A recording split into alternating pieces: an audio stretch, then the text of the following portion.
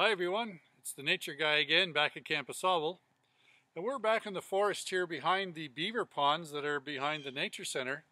I'm here today to talk to you about this incredible stump here. It's obviously a dead tree. You can't see it from there, but the top's broken off. It's pretty much hollow all the way through. But what's really interesting is we see a lot of black charcoal on the side, evidence that this has been involved in a forest fire.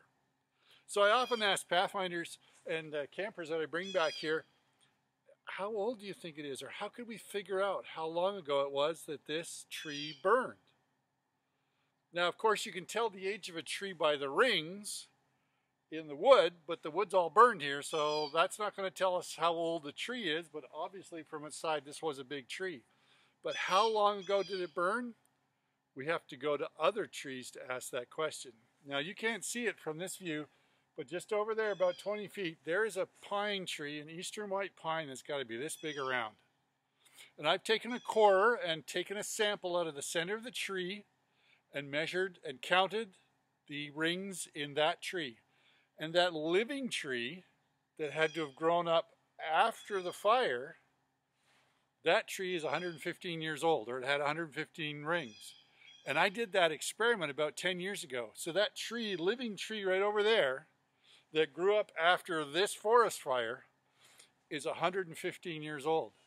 So this amazing stump has been here for over 125 years.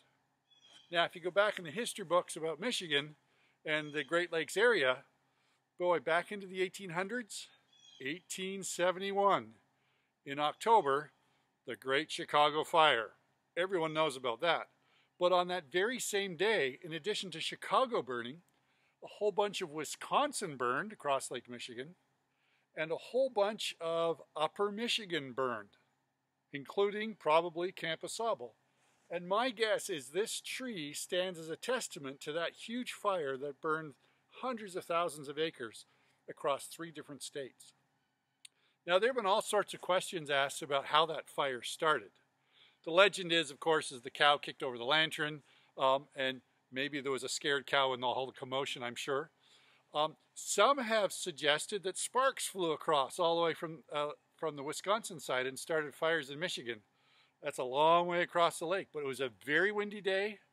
It was a very dry year that hardly had any rain all summer, so it wouldn't have taken much to start the fire here in Michigan. There are a couple of other theories. Some of it may have been um, the result of the logging that was going on.